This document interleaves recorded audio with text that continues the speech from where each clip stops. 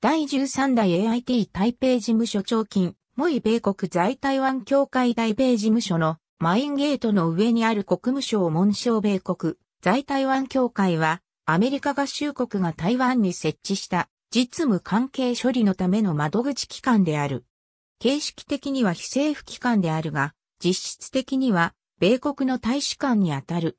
台湾での故障に倣い、米国在台協会と和訳されることもある。台湾側のカウンターパートは、台湾米国事務委員会。1979年1月1日、アメリカ合衆国が中華人民共和国との間で国交を樹立、台湾のみを実行支配する中華民国との国交を断絶したことを受け、ジミー・カーター大統領の台湾人民との関係に関する覚書に示された方針に従い、1979年1月10日、コロンビア特別区非営利法人法に基づいて設立された。同年2月28日付で在台湾大使館を閉鎖。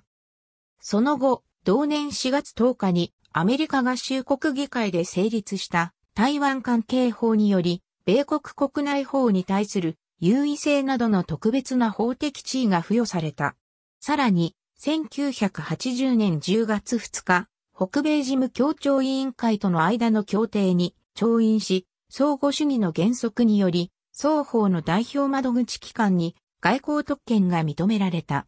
これにより、台北事務所と高尾支所が設置された。台北事務所長は、大使と同様の地位で外交特権を共有しており、事実上の中台湾がアメリカ大使である。署内には政治部もある。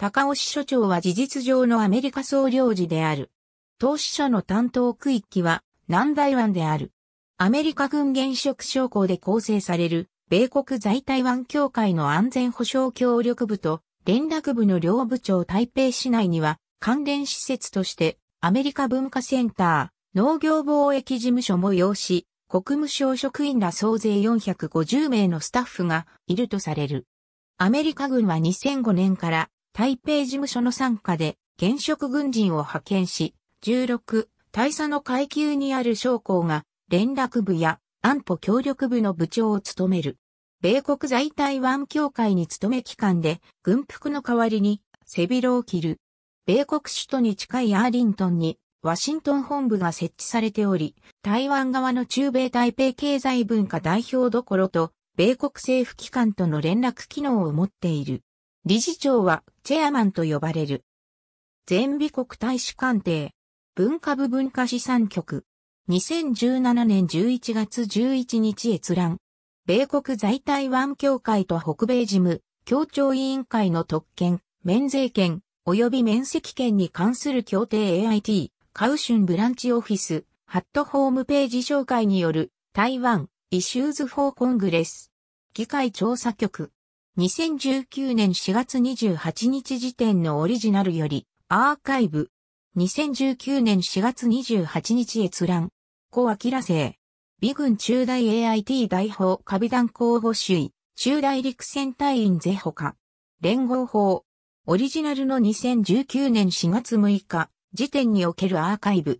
Https コロンスラッシュスラッシュアーカイブドットトゥデイスラッシュ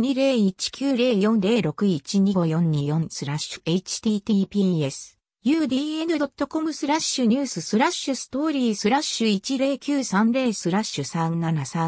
37374812019年4月6日閲覧。ありがとうございます。